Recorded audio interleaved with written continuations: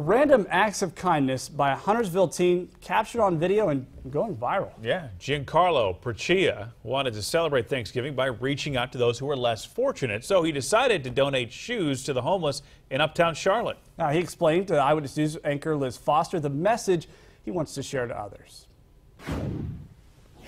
It's Thanksgiving. You got to give back. Amen, bro. Appreciate it. In the season of giving, Giancarlo Purchia was inspired to give to the less fortunate on the streets of uptown Charlotte. I'm just trying to spread positivity.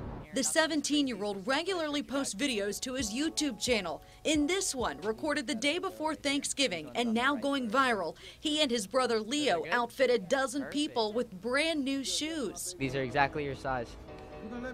Of course, yeah, try them on.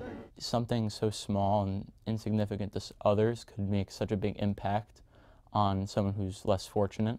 It's not unusual for Giancarlo's YouTube videos to be popular. Some have millions of views. But he told Channel 9 this one is different. This was important for me because I really wanted to inspire my younger audience in portraying like positivity and showing love to like our communities. At one point, Giancarlo got down and laced up sneakers for a woman.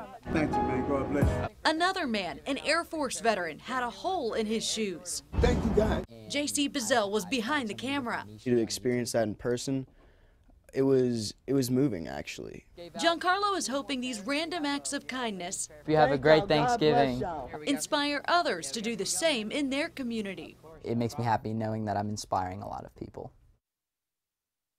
Good stuff there. The teen plans to do a part two at some point. He told us that he went back to Uptown on Friday and ran into one of the men that he gave shoes to.